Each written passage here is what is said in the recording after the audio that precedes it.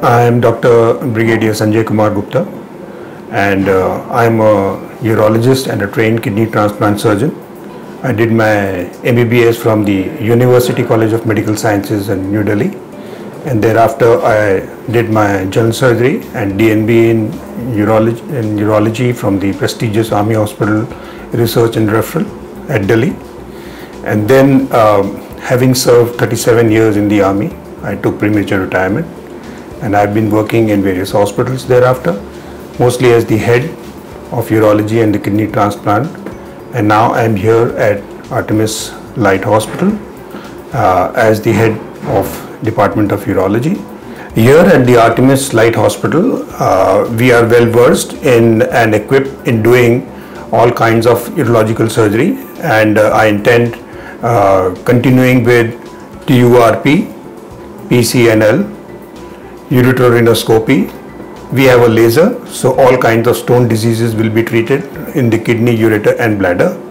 PCNL, uh, other endourological procedures, open procedures like uh, renal uh, surgeries and uh, all kinds of basic pediatric urological surgery and in collaboration with the gynecologist I can continue doing female urology we will deal with all kinds of uh, daytime emergency procedures as required.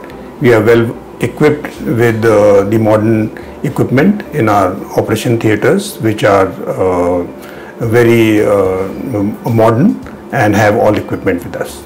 Here at Artemis Lite, as I have already told you, we will, we will conduct all kinds of urological procedures for prostate, cancer, stone diseases, which are cost effective.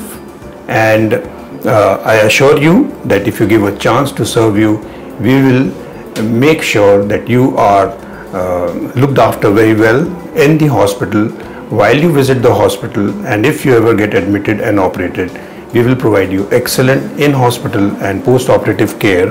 And I will I can assure you that you will go back as a satisfied person from the hospital.